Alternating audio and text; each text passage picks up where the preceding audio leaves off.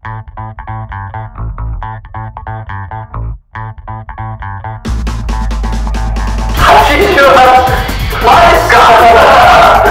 ゃくちゃ高校生の時も全然なんですよ受験生に役立つことからしょうもないことまでダベります。ダベリズム、えー今日もダベっていきましょう。学びズムの矢沢です。山城です。デコピンを同じところに10回以上やったらたまに血が出る。山本です。これはあかん。はいじゃあねあの言いたいんですけどあの受験生に役立つことから しょうもないことまでダベりますって言ってるんですけど、役立つことこの8回目まで去年8回目なんですけど8回目までにして1個も話してまあない1回目だけなんかその受験の時に気ぃつけやみたいなのあったけども、ちょっと方向性がまだ見えてないけど、うん模索中やったから、うん。だからね役立つこともなしにしましょうもうあこの場ではね。そうそうそう、まあ、これはね、あのまあ、受験生に向け、まあ、受験生がねちょっと息抜きであの見てくれたらいいなっていうふうに思った、うん。あのあれなんでね。そうですね。はい。あの ほんでこの動画に関してはですね特にあの視聴者参加型で行きたくあてーいいね。うん。ですね。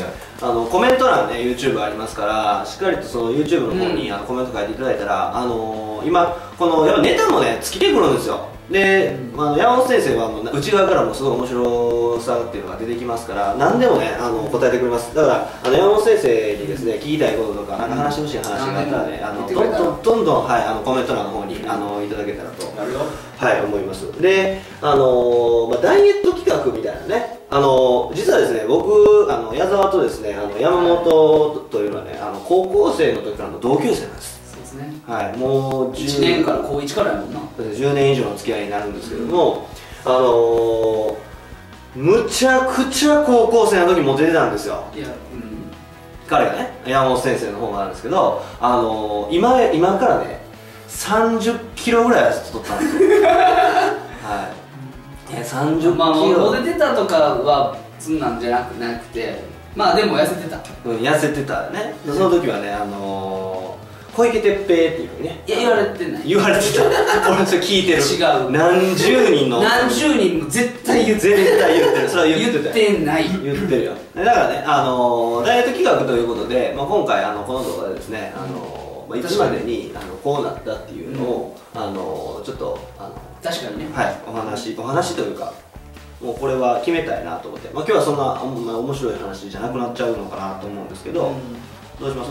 ダイエット企画ね。ダイエット企画ね。まあ確かに。2014年の、えー、ずっと12した。い月12月11日です。12月11日。はい。確かに痩せたいというのはあるよ。はい。これは、うん、まあちょうどこの最近自転車通勤を、はい始めたので。そうですね、はい、家からね。大体1週間に100キロぐらい走ってるかな。走距離で言ったら、まあ結構これ痩せると思うわ。うん。これでいくわ痩せれるわ。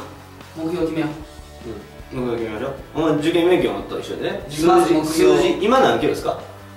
多分88ぐらいだ8888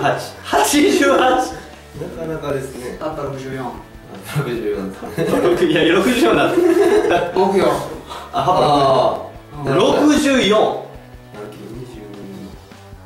今僕がねちょうど64ぐらいですわで身長1 7 8センチ。おお74 74なんで僕と同じぐらいの体重になる。したいな。64それいつまでにします？でもいっつもこれやるときってちょっと無茶な設定をしてるやんか。勉強もそう。あのなんあのこれできなくてね坊主2回やってるんですよ。2回やってます。その模様もねあのあのホーあホームページのさあの求人のページのあ時はあれもホームページ見ていただいたら求人のね、ところはあの右上の方から行けますから、うん求人のページがあるんですけど。あとはねあの男気を見せるということっていう形でですね調べていただいたら一番上にですねブログでできますんで。ああれあれ1回目の時。あれ1回目の時ですわ。なんでちょっと見てくださいですね。ねそのブログもねめちゃくちゃ面白い。うん一番 PV 稼いだ。そうやな。はい。じゃあいつにします？そうや2015年。な無茶はしたらあかんやっぱね受験勉強もその数字的目標と期限をしっかり決めてしかもそう言われた期限ではなく期限とか数字ではなくて自分で決めたものをやっぱ達成していくべきだと思うんでもう何も言わないですから2015年64キロ何月何日までにっていうのをね決めて今日は終わりにしたいと思うんですけど。月に4キロ。月に4キロ。ずつ。で今俺何キロするのかけど88から64やったら24キロ24か6ヶ月でしょ6半年かけて。半年。だから半年で。夏季講習始まる7月20日までにしましょう。んうんうん。うそれで言うたらまるっと6ヶ月7ヶ月と20日間ありますからまるっと6ヶ月と20日間ありますそうやからな。夏前はもう同じ体重になってると。そうそう。